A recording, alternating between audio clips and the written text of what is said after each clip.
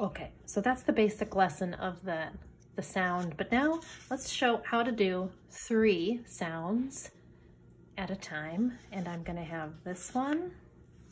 I'm gonna make another one here. Really different from this because when we're gonna try to know three letters, really different from this one. So just kind of imagine to yourself, what's really different from a big open circle? I know, the this is also easier to draw, to take it in. Okay, la. Now I'm reaching up to my printer because I forgot I needed one more page here for my third letter.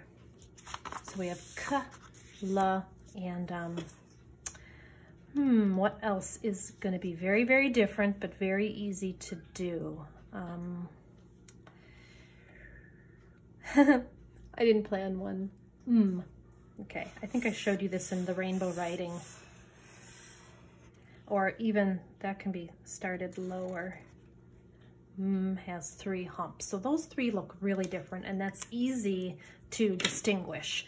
The sounds of these are also different when I say those so that we're not trying to do two things that sound alike, like and f and s those sounds are so different to see, but they're very different to make, uh, they're very similar to make with my mouth. So you want something like k, oh, mmm. Those are so different when you hear them, right?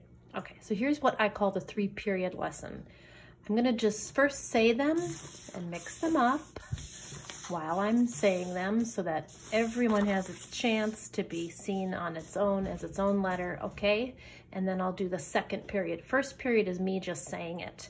K, o, mm, mm, o, k, o, k, mm.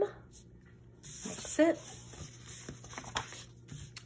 K, o, mm. Trace, mm and you can ask your child to do that too. Trace k,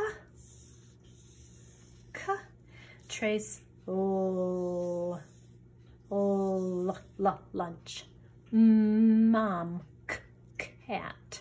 Okay, so now I've mixed these up a lot and I've done that a lot. Now you just ask your child to point. Where is m? Where is l? Where is k? So they're doing all of this. They're not making the sounds yet. Can you trace k?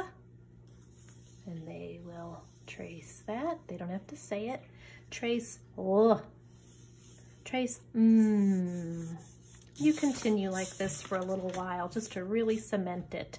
Then the third period is asking them, what is this? Or what sound does this make? And if they say, L, success. What sound is this? K. What sound is this? And they say, mm, then you know those three have been learned. And this can become the sound book. Now, an important part is the next day. They should say what that is, what that is, what that is. And remember, they're not going to say L, C, M. They're going to say L. What is the sound? K. What is the sound? Mm. Once those three are cemented, they know it the next day, then you can do three more. Three is that golden number of new information, okay? And keep going every day. And if you want, I will keep making videos of three more. Bye-bye.